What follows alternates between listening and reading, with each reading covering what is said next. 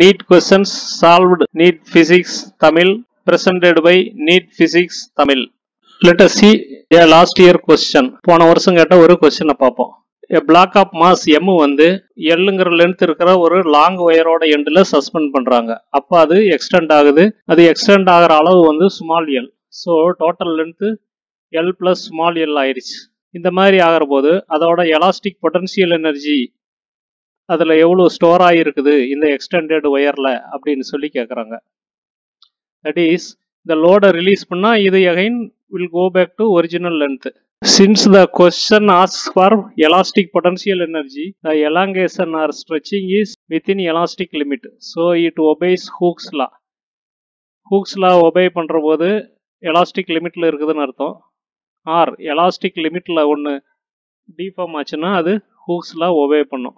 So stored elastic potential energy equal to half into work done by gravity so இந்த எம்ங்கிற மாசை suspend பண்ணுற போது it will give a force of MG on the wire so அந்த force MG வந்து இதில் செய்கிற work is MG into L that is MG into the displacement so half into MG L தான் stored elastic potential energy so answer choice three more எலாபரேட்டாக பார்த்தீங்கன்னா elastic potential energy per unit volume வந்து half into stress into strain equal to force MG by area இது stress into strain வந்து change in length by original length small L by L டினாமினேட்டரில் இருக்கிற area into L வந்து volume so half into MGL by volume so இது வந்து per unit வால்யூமில் stored energy so entire வால்யூமில் therefore stored energy is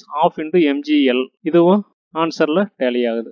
So the answer is half MGL so elastic potential energy of a stretched ஒயரில் சில formulas initial length L இதில் வந்து ஒரு force எம்ஜியை கொடுக்குறோம்.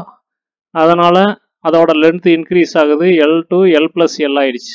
அந்த ஒயரோட elastic modulus capital E stress proportional to strain ஸ்ட்ரெஸ்னா force by unit area இது proportional to strain that is change in length by original length force by unit area equal to therefore E into L by L that is proportionality constant வந்து capital E that is Young's modulus or force equal to E into area into small L by capital L elastic potential energy வந்து work done by the applied force that is force into elongation F dot டிஎக்ஸ்னு சொல்லுவோம். For small extension dx infinitesimally small extension டிஎக்ஸுக்கு work done வந்து F dot dx அப்போ total elastic potential energy stored வந்து integrate பண்ணும். Integral zero to L F dx let's see another question asked in last year NEET exam ionized hydrogen ஏட்டம்ஸும் alpha பார்ட்டிகிள்ஸும் entering into a magnetic field இது ionised ஹைட்ரஜன்னால charged.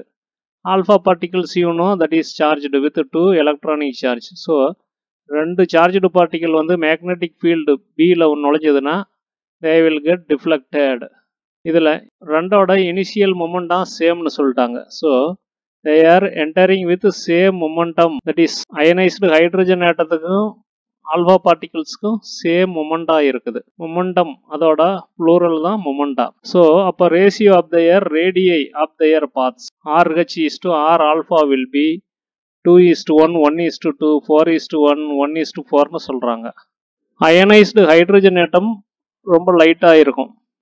Only one proton alpha பார்ட்டிகிள்ஸில் வந்து it is nothing but helium so that will have mass two charge two ரெண்டுக்கும் வேற வேற mass இருந்தாலும் ரெண்டுமே entering with the same momentum that is MV so அப்போ alpha particle with higher mass வந்து lower ஸ்பீட்லேயும் hydrogen ionised hydrogen atom with lower mass வந்து entering with higher speed now ஒரு magnetic ஃபீல்டில் moving charges நுழைஞ்சதுன்னா the charges will get deflected அந்த force of deflection will be more with the magnetic field so magnetic field strength அதிகமாக இருந்தால் அந்த force of deflection அதிகமாக இருக்கும். Charge அதிகமாக இருந்தாலும் அது அதிகமாக இருக்கும்.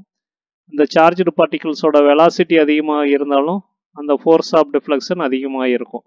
So the force of deflection equal to BEV அதே சமயம் இந்த பார்ட்டிகிள்ஸ் வந்து ஒரு சர்க்குலர் பாத்தில் டிஃப்ளெக்ட் ஆகிற போது சென்ட்ரிபியூகல் ஃபோர்ஸ் ஆக்ட் ஆகும். அந்த சென்ட்ரிபியூகல் ஃபோர்ஸ் வந்து இந்த டிஃப்ளெக்டிங் ஃபோர்ஸை அப்போஸ் பண்ணும்.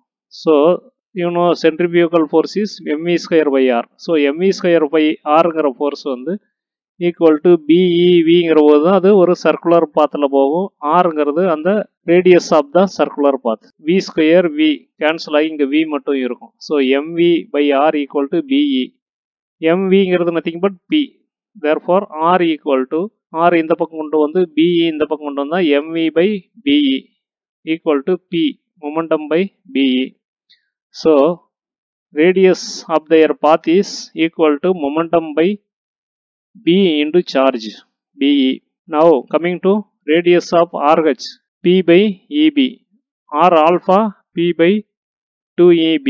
So P P ரெண்டும் ஈக்குவல்ங்கிறதுனால RH is to R alpha will be 1 by eb is to 1 by 2eb therefore 2 is to 1 that is 1 is to half. That is nothing but 2 is to 1 ஏன்னா PEB எல்லாமே இதுலேயும் இருக்கு. So this is nothing but ஒரு யூனிட்னு எடுத்துக்கிட்டா இது half unit so one is to ஆஃப்ங்கிறது two is to one so answer choice one Thanks for watching. Please subscribe to get more videos in the examination point of view. Need Physics Tamil.